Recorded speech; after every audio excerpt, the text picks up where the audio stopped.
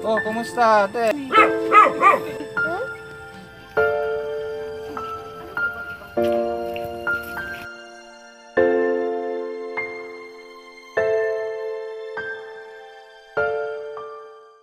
ako si Josephine Tinibro Moyko. Tinibro ako nung dalaga. Then, ah, 1982, nung pumunta kami ng Palawan, galing kami ng Negros Occidental.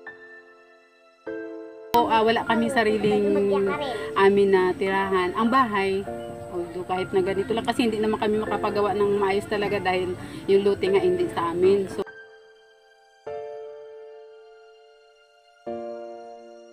Yun lang po, araw-araw, ganun, ang routine.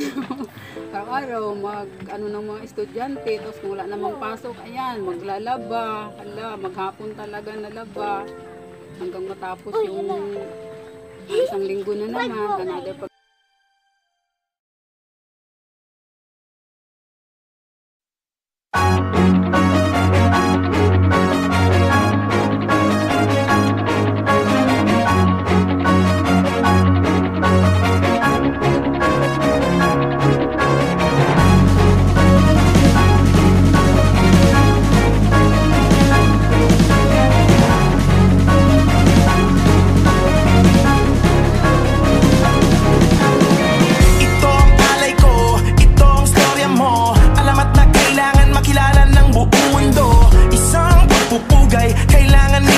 pagdiriwang Pasasalamat at di ika'y isinilang. Di pangkaraniwan para siyang superhero.